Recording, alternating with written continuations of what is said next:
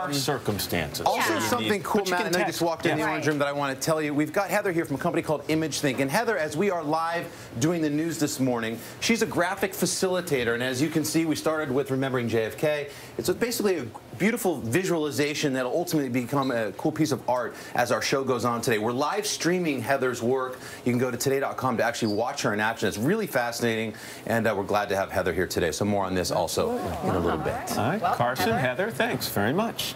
Up next, new foot. Carson, yeah.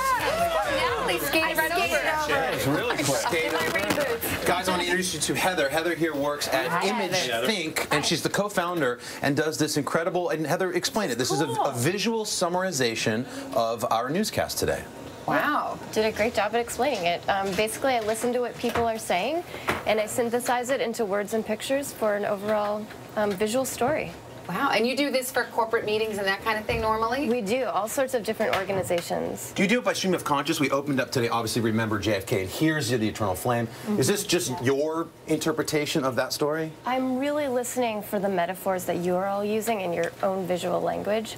So I'm listening and drawing from you. And what's the larger purpose? I mean, what do people get out of a visualization like this? Oh, well, it helps it helps folks to communicate visually through visual learning. So it helps people to focus and engage.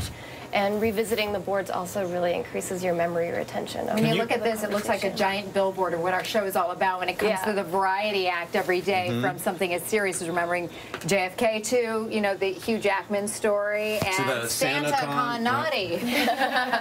Could you follow me around for a day? do that just with the whole kid to bed thing? That would be great. Yeah.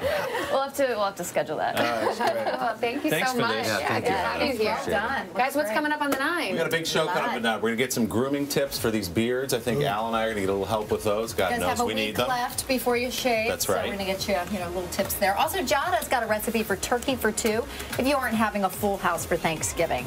Oh, that's a good idea. Exactly. All right, guys. All right, lots All right, to get to. Speed a Thank couple you. of minutes. Thank you again. Good weekend. Heather. Let's get you Great checking your local news and weather.